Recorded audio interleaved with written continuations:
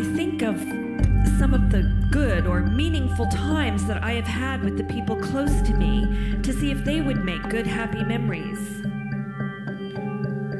Meeting a friend at a railway station on a sunny day seems to have made a good, happy memory, even though later we talked about some difficult things like starvation and dehydration. There were walks in the woods with friends looking for mushrooms that make a good, happy memory. There have been a, a, few times of gardening together as a family, and that may make a good, happy memory.